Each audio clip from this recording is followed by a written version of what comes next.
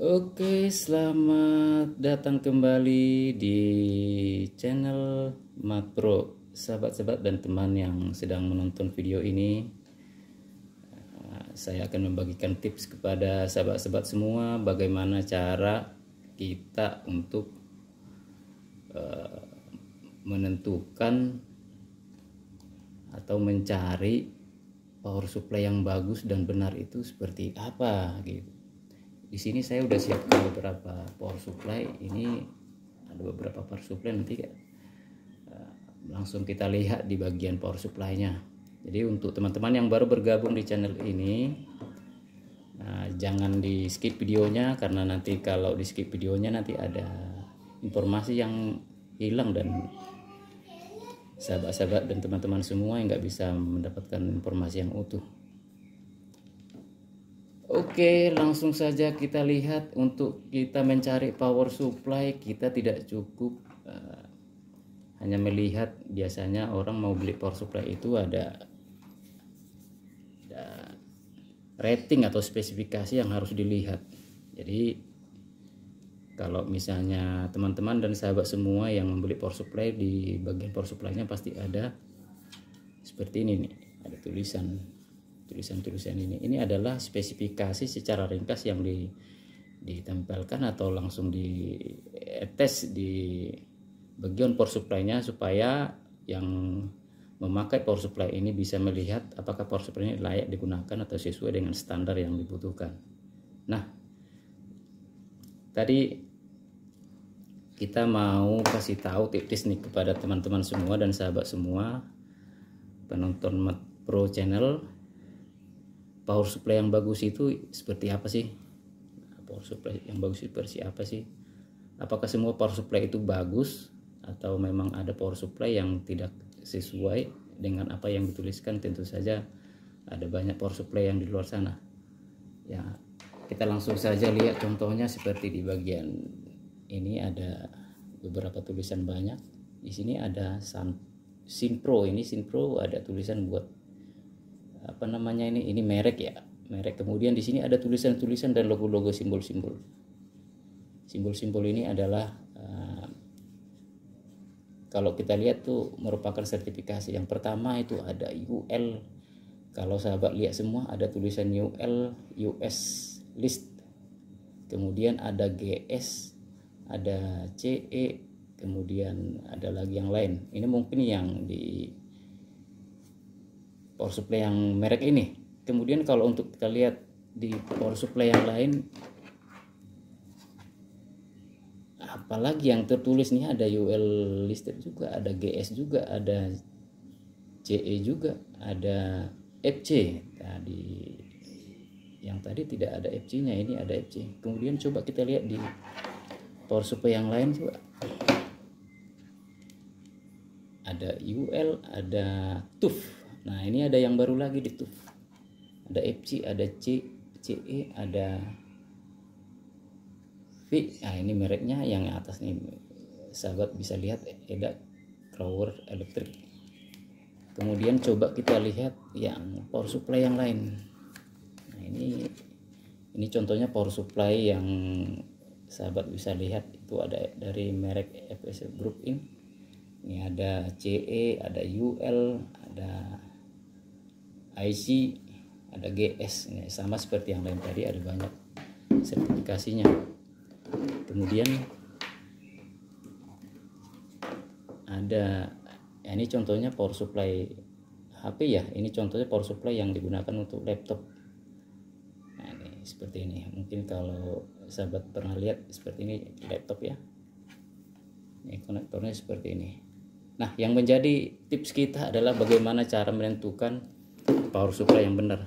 Jadi kalau sahabat-sahabat sahabat-sahabat mau uh, melihat atau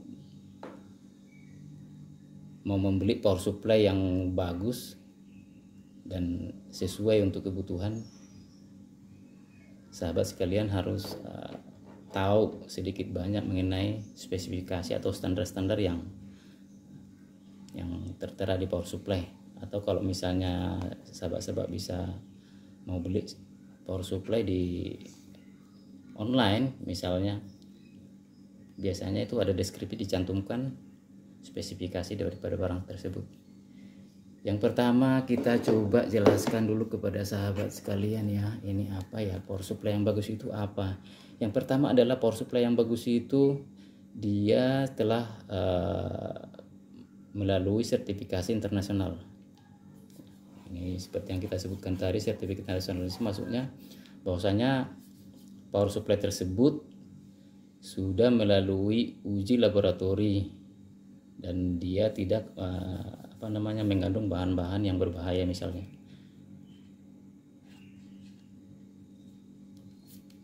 Nah, seperti itu. Kemudian ini uh, kalau kita perhatikan di ada tulisan roh. Roh ini adalah uh, merupakan sertifikasi di mana barang tersebut uh, apa namanya tidak mengandung bahan-bahan berbahaya roh atau restriksi of hazardous substance. Itu itu maksudnya kalau kita terjemahkan atau kita jelaskan bahwasanya peralatan ini tidak mengandung zat-zat yang berbahaya. Apa saja sih zat-zat yang berbahaya itu?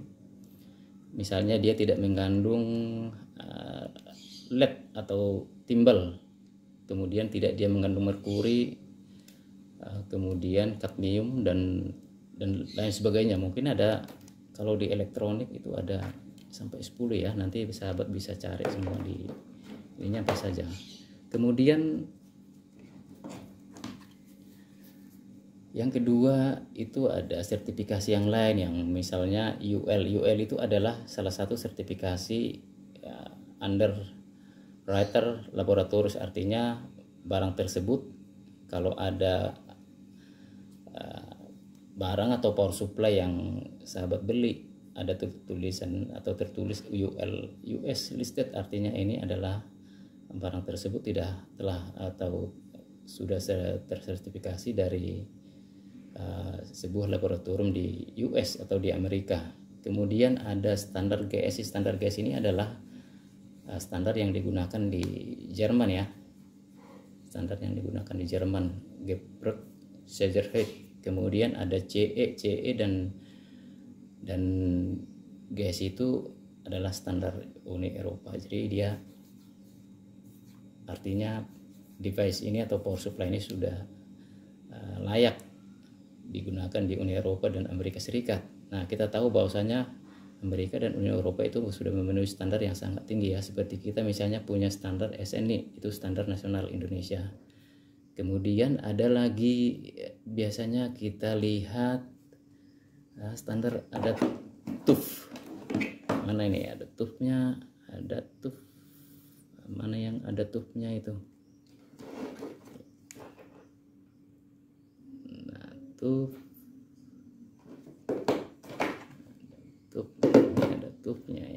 ada TUF itu TUF itu adalah salah satu standar juga. Itu uh, apa rendered high uh, reliability artinya bahwasanya barang barang itu atau barang device elektronik itu uh, sudah teruji kehandalannya ya. Jadi istilahnya tahan tahan lama lah istilahnya. Tahan tahan bisa dipakai untuk jangka waktu yang cukup lama. Jadi sudah sangat uh, bagus ya. Nah ini contohnya ada tufnya nih ini ada cup biasanya simbolnya segitiga. Ada tuf. Mana nih ada tufnya di sini ada tuf. Ada tuf. Nah ini ada tufnya. Nah ini contohnya power supply laptop ini ada tuf juga.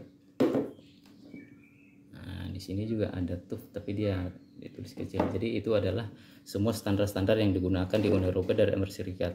Jadi ini juga digunakan untuk di seluruh dunia. Jadi kalau misalnya uh, sahabat dan teman-teman uh, penonton Mat Pro ini lihat uh, mau butuh power supply jadi sedikit banyak harus tahu ini uh, ini tidak asal dicantumkan uh, standarisasi atau sertifikasi ini. Bahwasanya itu bahwasanya power supply ini sudah cukup bagus ya kemudian lagi ada yang lain lagi yang belum kita sebutkan tadi ada FG nih FG FG atau FCC itu uh, itu standar dari US ya ini contohnya itu jadi itu uh, salah satu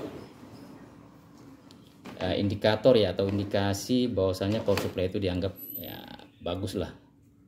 Nah, yang kedua, apakah uh, power supply itu bagus apa tidak? Nah kita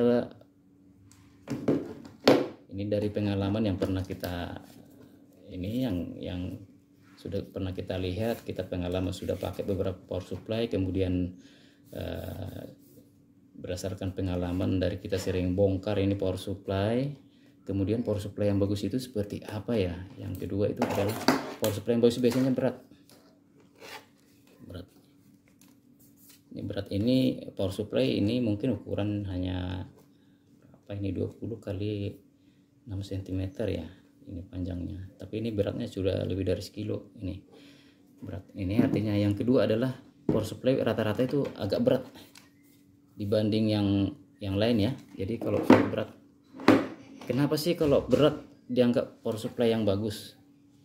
Power supply yang bagus. Jadi eh, power supply yang bagus itu berdasarkan analisa teknis dan pengalaman bahwasanya power supply yang bagus biasanya menggunakan yang di dalamnya ada eh, yang membuat power supply itu menjadi berat adalah ada beberapa eh, material yang membuatnya jadi bagus dianggap bagus. Yang pertama adalah di power supply biasanya ada yang namanya uh, filter filter itu berfungsi untuk uh, menyaring frekuensi tinggi dan frekuensi rendah ya jadi ada namanya kalau sahabat pernah pernah dengar itu EMI atau EMI EMI electromagnetic interference ya jadi setiap power supply itu memiliki rangkaiannya ada EMI-nya.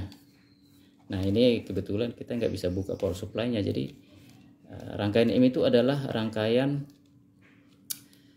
kombinasi dari komponen pasif di dalam power supply ya. Komponen pasif itu antara lain kapasitor, induktor, dan resistor ya.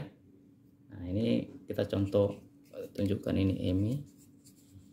Ini EMI filter ya atau filter line filter biasa disebutkan kalau di power supply ini di dalamnya ini ada uh, di dalamnya ini ada induktor yang lebih kecil yang disusun rapi ya kemudian ada kapasitornya jadi nah ini walaupun kecil yang ini yang berat nah di dalam power supply ini biasanya ada yang namanya induktor begini nih ini contoh ini induktornya agak besar jadi untuk ini untuk arus yang 15 sampai 10 ampere ya power supply-nya. Kemudian kapasitornya seperti ini. Jadi ini kalau misalnya di di rangkaian dalam power supply itu ada rangkaian filter atau EMI filter electromagnetic interference kira-kira seperti ini digabung. Jadi dia membentuk rangkaian rangkaian LC.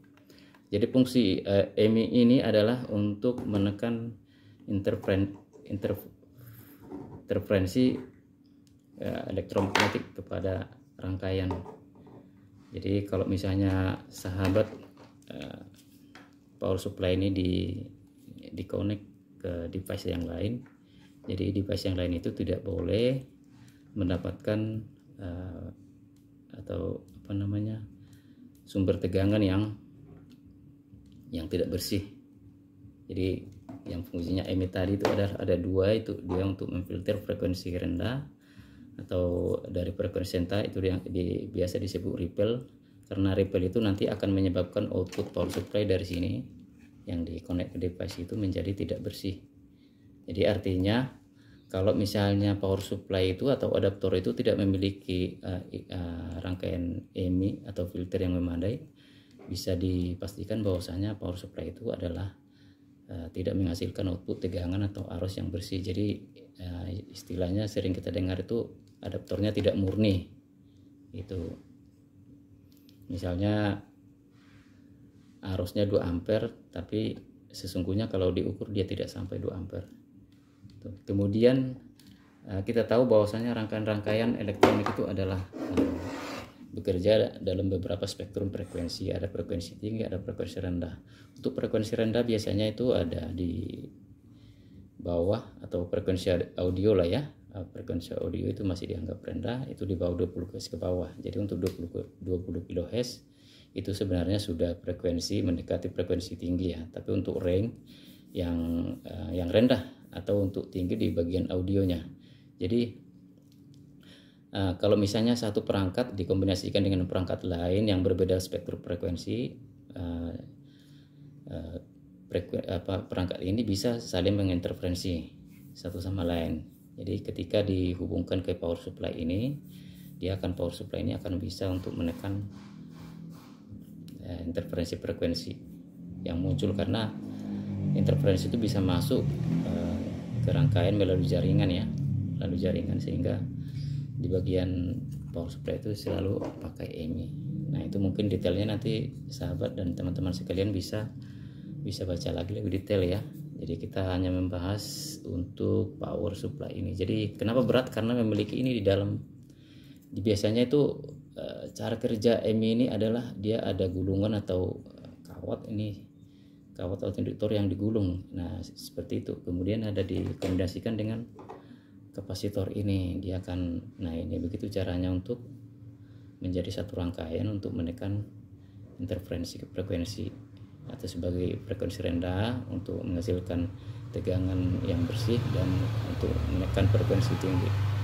Nah, kemudian ada yang dibungkus uh, dengan bahan-bahan ya aluminium atau tembaga nah, seperti ini dibungkus dia untuk meningkatkan uh, keandalan ya ini jadi ini bukan hanya seperti stop kontak ini langsung dikonek ke AC atau kabel listrik ya 230 volt. Nah ini dia melalui rangkaian dulu baru masuk ke rangkaian power supply. Jadi power supply yang bagus itu adalah uh, tipsnya tadi yang kedua.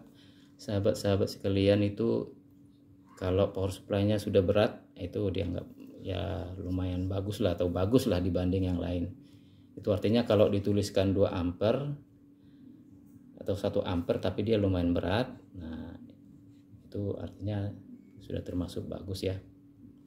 Jadi ada yang adaptornya seperti ini atau power supply seperti ini tertulis 3 ampere tapi dia cukup ringan sekali. Nah, kemudian pada saat kita lihat di sini tidak ada standar-standar yang telah teruji dari internasional. Itu kita kita bisa pastikan bahwasanya outputnya tidak murni ya. Kenapa tidak murni? Karena dia tidak memiliki rangkaian ini. Jadi dia uh, outputnya juga ripple ya banyak ya.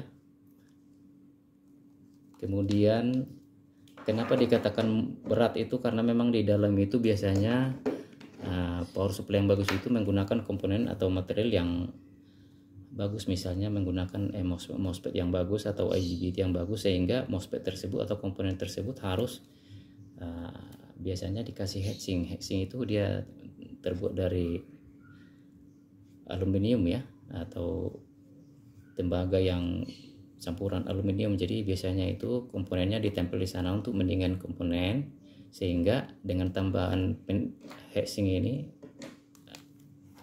itu berat power supply juga akan semakin besar ya. Ditambah lagi ini ada antiferrit ini lumayan berat ini ya. Jadi ada antiferrit ada gulungan ada heatsinknya Nah, karena komponennya harus dikasih pendingin itu yang menjadikan power supply itu menjadi berat. Jadi sahabat-sahabat sekalian kalau misalnya ketemu power supply yang hanya satu ampere cukup berat itu dianggap cuma bagus. Jadi untuk power supply yang yang tidak bagus itu kita ada contoh kebetulan ini ada ini yang bagus ya, tergolong nih semua. Dari sablonnya juga bisa kita lihat ada memang kalau di pasaran banyak kita temui power supply yang dicantumkan sertifikat ini tapi biasanya sertifikat uh, dari US atau dari Eropa itu ada selain dituliskan UL atau FG atau CE itu di di di bawahnya itu ada angka-angkanya lagi. Angka-angkanya itu adalah itu eh, pasal-pasal uh, sekian ya untuk misalnya untuk elektronik perangkat elektronik dan listrik itu. Tetapi kalau misalnya sahabat sekalian pernah beli power supply atau adaptor dari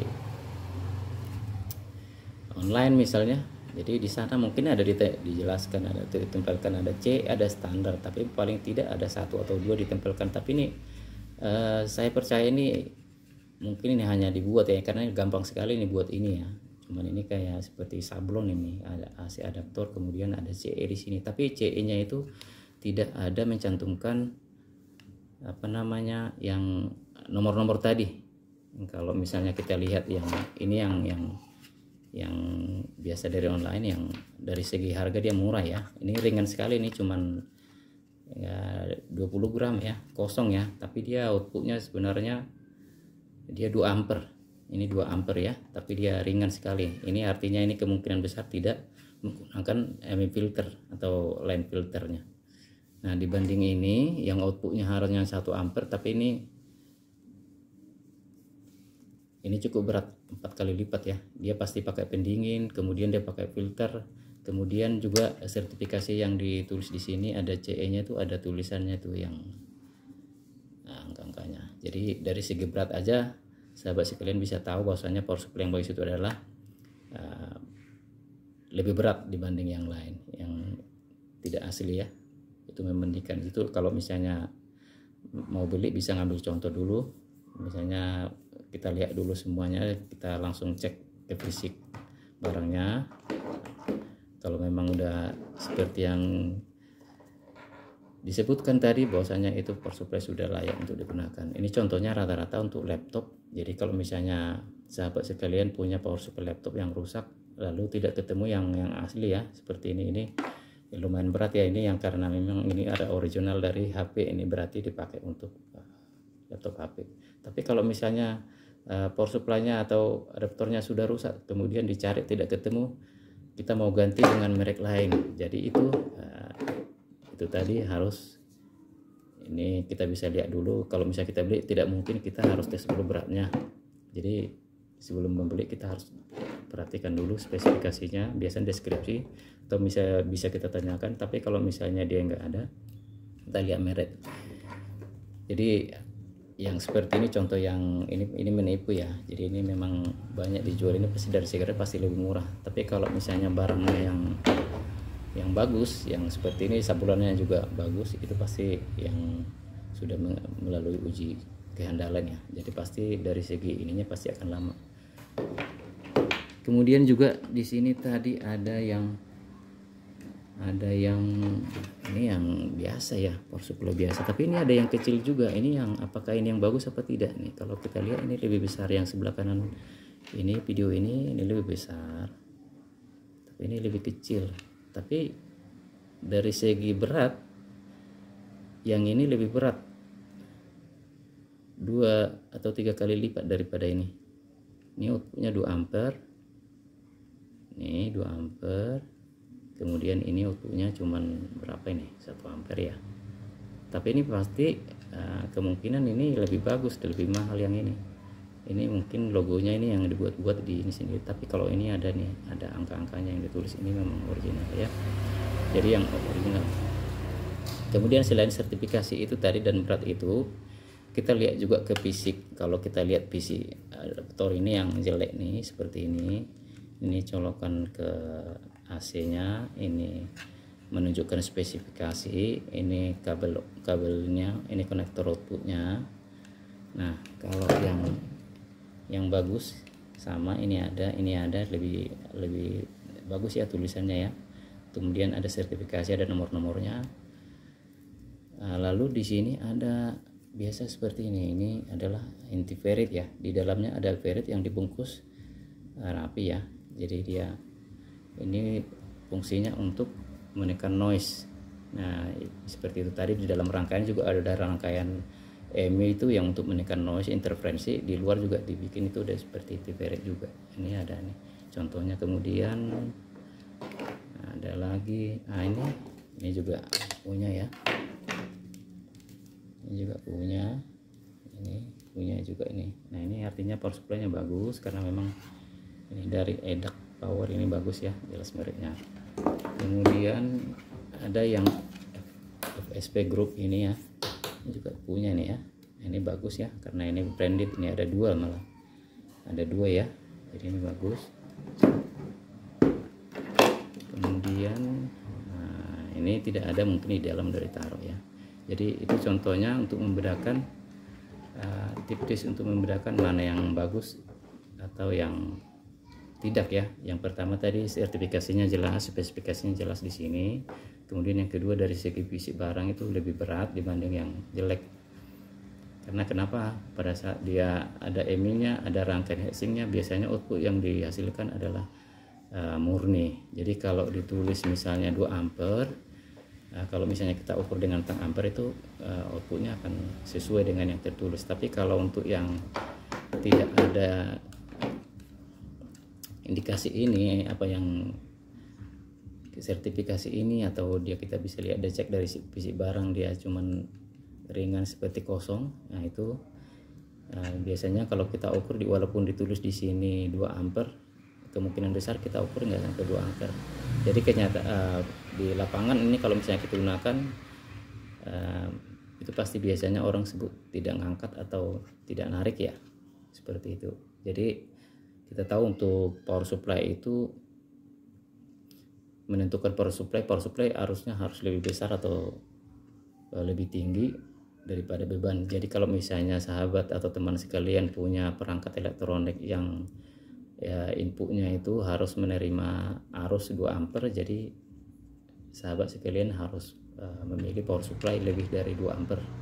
Jadi misalnya uh, teman-teman punya perangkat yang 1 ampere lalu pengen ganti adaptornya atau beli adaptor dicari seperti ini. Walaupun ini 2 ampere belum tentu bisa narik atau bisa ngangkat ya. Gitu. Kemudian tadi yang filter-filter ini yang rangkaian yang di dalam rang, eh, yang di dalam power supply ini selain bisa merusak eh, apa namanya outputnya dia akan bisa merusak eh, di perangkat yang lain ya dia bisa merusak bikin error atau segala macam ya. Bahkan mengalami nah, degradasi ya. Seperti itu. Jadi itu ada tips yang di yang saya bagikan. Kemudian ini contoh ada satu ini power supply kaleng ini. Ini power supply kaleng biasa digunakan ya. Ini mungkin eh, walaupun besar tapi dari segi harga ini mungkin nggak terlalu mahal ya. Karena memang kalau kita lihat di ini adalah uh, tak tak ininya ya tak numbernya ada CE kemudian ini ada mereknya ada port. Ini model ini inputnya ini out, uh, input uh, uh, arusnya. Kemudian ini outputnya ya 24 volt contohnya terus 12,4 ampere. Tapi dia hanya cantumkan CE jadi kita lihat ini kalau kita cek ini ini mungkin produk Taiwan. Jadi ini walaupun memang ini tidak memenuhi standar uh, di Eropa nya kemungkinan besar di Eropa dan di Amerika ini nggak nggak nggak bisa dipakai ya. Kalau mengikuti dari sertifikasi karena kenapa? Karena uh, untuk arus yang 4,5 ampere mungkin uh, udah tidak seperti ini lagi rangkaiannya. Jadi itu tips-tips yang perlu sahabat tahu semua bagaimana uh, kita untuk menentukan power supply yang bagus dan benar. Nanti kalau ada pertanyaan sahabat bisa komen di kolom komentar. Dan jangan lupa subscribe untuk video ini karena akan nanti banyak video-video yang lain untuk menjelaskan supaya nah, kita sama-sama belajar ya. Sahabat-sahabat sekalian nanti akan banyak video yang kita upload ya. Jadi jangan lupa subscribe channel kita Mac Pro nanti ada komentar nanti yang di kolom komentar kita akan balas dan coba akomodasi ya. Jadi jangan enggan untuk memberikan komentar kita akan langsung respon ya. Jadi sementara sampai sekian dulu untuk tips yang bisa kita bagikan di video ini. Kita bertemu untuk video-video yang lain